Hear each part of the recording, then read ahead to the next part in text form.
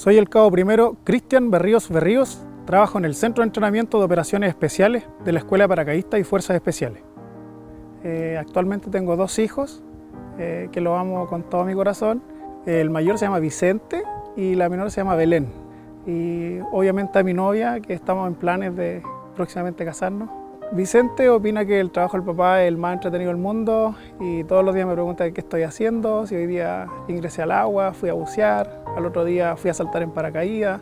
Todo para él es, eh, es nuevo y es muy entretenido. Todo lo que yo le cuento, él abre sus cinco sentidos y me dice, papá, es muy entretenido tu trabajo y quiero ser como eres tú. Lo que me motivó a seguir la carrera profesional de, de militar fue el haber ingresado a hacer mi servicio militar obligatorio, eh, el cual lo hice en el año 2004 en la Escuela de Artillería. Y cuando izaban el pabellón nacional, automáticamente mi cuerpo se ponía eh, con los pelos de punta, lo cual ahí uno se da cuenta que efectivamente eh, es lo que uno quiere ser. Los instructores en ese momento nos dieron las orientaciones de cómo poder postular a la Escuela de Suboficiales los que estábamos interesados en, seguir la carrera militar. Fue un proceso eh, esforzado porque debíamos hacer nuestro servicio militar y teníamos que prepararnos física y psicológicamente para poder eh, enfrentar el proceso de postulación. El mundo de las fuerzas especiales, eh, mi inicio fue con el curso de paracaidista el cual lo hice cuando egresé de primer año de la Escuela de Suboficiales. Tuve la oportunidad de postular al curso paracaidista eh, y vine en el verano a hacer mi curso paracaidista en la Escuela Antigua, que es donde está actualmente Arsenales de Guerra. Salí egresado en la Escuela de Ingenieros y en ese momento, en el grado de cabo, postulé al curso de uso táctico, que antiguamente se hacía en la Escuela de Ingenieros. Eh, tuve la oportunidad de poder quedar en el curso y ahí obtuve mi segunda especialidad, que es la especialidad de uso táctico.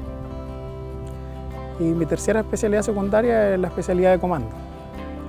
Y es especialidades de complementación, tengo la especialidad de francotirador, eh, tengo el curso de jefe de salto, saltos básicos, tengo alrededor de 100 saltos básicos, que es lo que compete a un salto con línea estática y en lo que compete a saltos con salto libre, que ya es un salto de mayor altura, tengo alrededor de 500 saltos.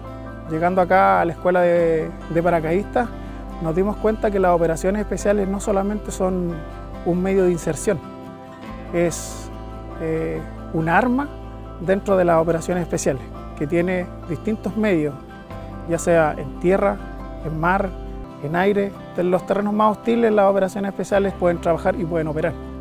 Este año comenzamos a trabajar, eh, a trabajar de instructor en el curso de paracaidista. Eh, comienzo a trabajar con el curso de jefe de salto, que es el que estamos realizando actualmente. En abril comenzamos a trabajar con la OME de francotirador del curso de fuerzas especiales. Posteriormente a eso pasamos al curso de comando, con la postulación del curso de comando y con el curso de comando en sí, que dura alrededor de cinco meses el curso de comando. Y depende eh, el tiempo en que estemos puede ser el operador de salto libre o puede ser el operador del curso TAM. La especialidad que más me gusta es la especialidad de comando. Me doy cuenta de que el alumno que llega a postular el curso de comando es una persona que viene convencida y sabe lo que quiere y él lleva la bandera chilena en el corazón. Lo que más me gusta de hacer instrucción que los conocimientos y el entrenamiento que uno ha tenido durante años eh, se le entregan a los futuros operadores de fuerzas especiales, que son los encargados de poder seguir transmitiendo los conocimientos que uno tiene durante, durante el tiempo. La confianza con el alumno eh, se da de la mano con el respeto, con la disciplina, con, con la motivación que uno le entrega a los alumnos, eh, entregándole conocimientos y viendo que lo que uno le está enseñando es en beneficio de, ellos mismos para prepararlos como personas y como un soldado de operaciones especiales. Los alumnos logran vencer su miedo eh, con los conocimientos que ellos adquieren durante un curso Ellos lo practican, lo practican, lo practican mil veces hasta que nos entreguen eh, la confianza de que ellos van a realizar una actividad en forma segura.